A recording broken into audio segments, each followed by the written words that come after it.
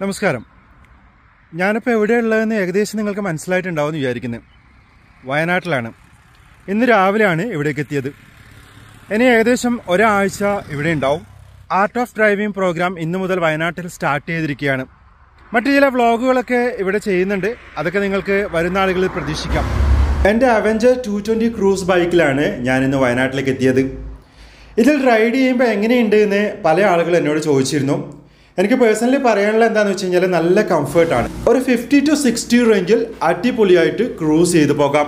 Two വീലറിൽ യാത്ര ചെയ്യുന്ന സമയത്ത് മറ്റുള്ള വാഹനങ്ങളൊന്നും അവരെ പരിഗണിക്കാറില്ല. ടൂ വീലർ യാത്രക്കാരെ പരിഗണിക്കില്ല എന്ന് പൊതുവെ എല്ലാവരും പറയാറുണ്ട്. ഇന്ന് എനിക്ക് അങ്ങനെ ഒരു അനുഭവം ഉണ്ടായി. വട്ടപ്പൊയിൽ എന്ന സ്ഥലത്ത് വെച്ചിട്ടായിരുന്നു അനുഭവം. ഒരു അപകടത്തിൽ നിന്ന് കഷ്ടിച്ച് രക്ഷപ്പെട്ടതാണ്. ഒരു ബസ് മറ്റൊരു ബസ്സിനെ ഓവർടേക്ക് ചെയ്യാൻ ശ്രമിച്ചതാണ്. ഞാൻ വളരെ സൈഡിലായിരുന്നു റൈഡ് ചെയ്ത് വന്നിരുന്നത്.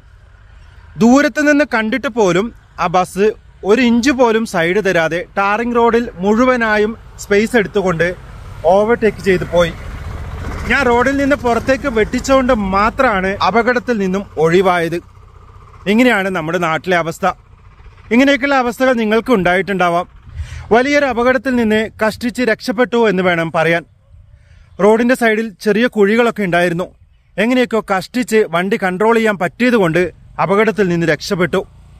ഇത്തരം ദുരനുഭവങ്ങളാണ് റോഡിൽ ഉണ്ടാവുന്നത് ധാരാളം ക്യാമറകളൊക്കെ റോഡിൽ പല സ്ഥലത്തും സ്ഥാപിച്ചിട്ടുണ്ടെങ്കിലും എവിടെയാണ് ക്യാമറകൾ ഉള്ളതെന്നൊക്കെ ഹെവി ഡ്രൈവേഴ്സിന് നന്നായിട്ട് അറിയാവുന്നതുകൊണ്ട് മറ്റുള്ള സ്ഥലങ്ങളിലൊക്കെ സ്പീഡ് യാതൊരുവിധ കൺട്രോളും ഇല്ലാതെ ഓവർടേക്ക് ചെയ്ത് പോകുന്നതാണ് കാണാറുള്ളത്. ഇതിനൊക്കെ തടയിടാൻ വേണ്ടി കഴിയണം.